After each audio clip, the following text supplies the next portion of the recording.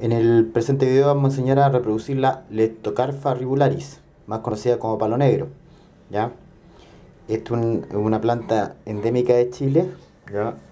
y que debido a, su uso medicinal la están arrasando de los cerros y es muy raro de encontrar en la actualidad.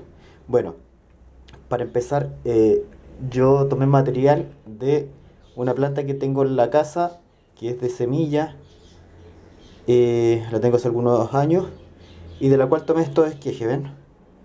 Aquí están los esquejes. Estos esquejes lo que hay que ir haciendo es cada cierta cantidad de nudos ir cortándolos. ¿Ya? Y los introducen en aloe vera. ¿Ya? Durante unos 5 minutos en aloe vera. ¿ya? Tenemos un sustrato que el que tenemos acá, que esto es tierra de hoja, la cual mojamos previamente antes de, de plantar nuestro esqueje. Bien mojadito, que no se note pobreza.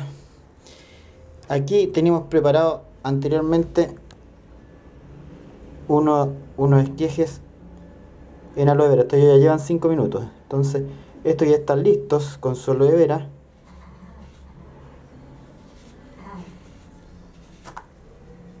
Se les coloca este enraizante en polvo adicionalmente, ¿ya? Y se planta.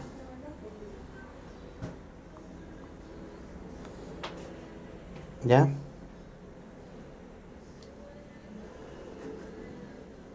Entonces una vez que estamos ahí con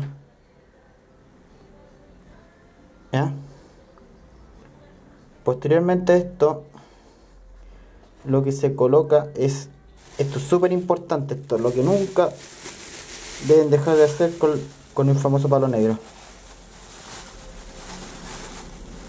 colocarle un plástico encima